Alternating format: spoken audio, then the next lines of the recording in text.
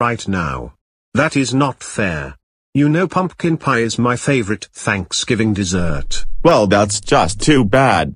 If you don't let me have pumpkin pie, I will throw it into your face. Classic Caillou. Stop it right now. Classic Caillou stop it right now. You will not be eating pumpkin pie, and that's final. That's it. I'm going to throw this pumpkin pie in your face, Dad.